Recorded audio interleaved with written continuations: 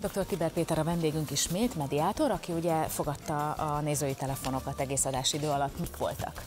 Két dolgot szeretnék kiemelni, ami ö, több telefonnál is feljött, több nagyszülő telefonált egyébként, akik az unokájukat látva elmondták azokat a tüneteket, amiket a gyerekek produkálnak. Ugye a szülők vállófélbe vannak, dolgoznak, tehát egyszerűen élik a mindennapjaikat, ők pedig látják a gyerekeknek a szenvedését. Csak egy példát szeretnék elmondani, hogy két éve költözött el az apa a családból, a tíz éve, van egy nagyobb lány és egy tíz éves kisfiú.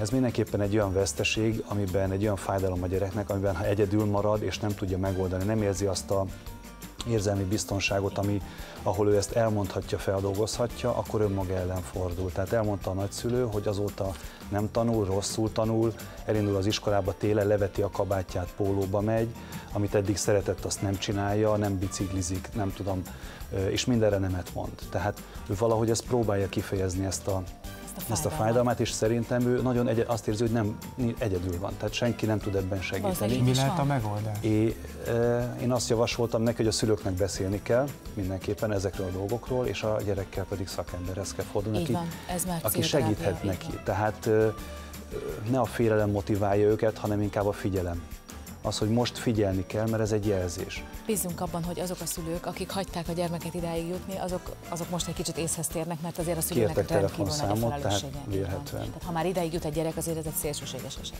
Most a másik, másik nagyon fontos dolog, amit előtt egy telefonnál, hogy döntsön a gyerek, hogy kivel akar lenni. Uh, azt de hány éves? Dönt, 5 és 7 éves gyerekekről van szó.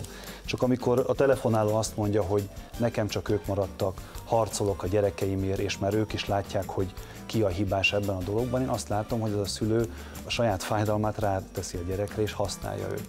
És annyira már befolyásolva vannak ezek a gyerekek, hogyha megkérdezik őket, hogy, hogy hova akarnak menni, akkor már tudják azt, hogy ő a rossz, ő a jó, és nekem oda kell mennem, de ez, ez nem jó. Nem, a, a, a gyerekeknek a biztonságot az adja, hogyha a szülők meghozzák a döntést, és ebben látja őket együttműködni, mert ők meg tudják szokni az új ritmusokat. Igen, igazából ez lenne tulajdonképpen egy utolsó kérdés, hogy ha már megtörtént az, hogy megromlott a kapcsolat a szülők Igen. közül, akkor van-e olyan három mondatos tipp, vagy, vagy ajánlat, amit, vagy ajánlás, amit akkor a szülőknek tudunk mondani, vagy tud mondani, hogy mit tegyenek azért, hogy a gyerek kevésbé sérüljen?